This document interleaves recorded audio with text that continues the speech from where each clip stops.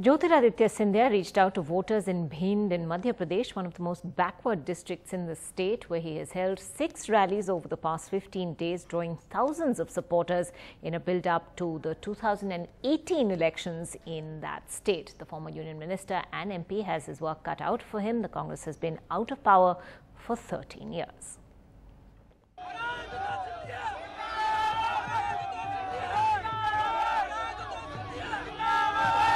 Every election people want to see who they are voting for.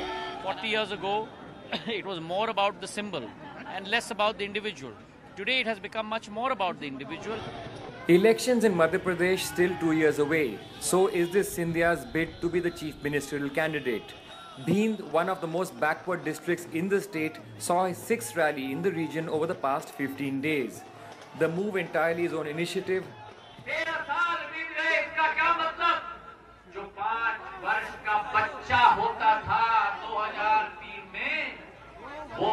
आज मध्य प्रदेश का मतदाता बन चुका है लेकिन इन भाजपा नेताओं के कान में पूरी तरह से जू भर के बैठी हुई है पूरी भाजपा केंद्र और प्रदेश की सरकार As he reaches out to voters, takes on the state government, are these rallies aimed at stealing a march over rivals in his own party?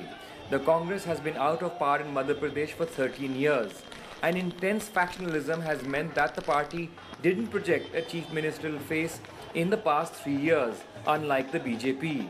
I think it is very good if Congress goes for him because uh, uh, as I told you, we already faced him. Number two, the people in the democracy needs a son of a farmer like Shivraj Singh Chouhan. So it is a good fight between Shivraj Singh Chouhan and Scindia. Elections in Madhya Pradesh are still away in 2018, but this clearly is an effort to try and rally support ahead of those crucial polls.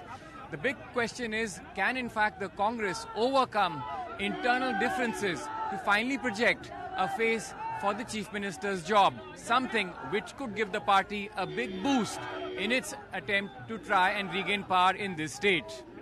With Ashwani Mehra, Siddharth Pandey for NDTV.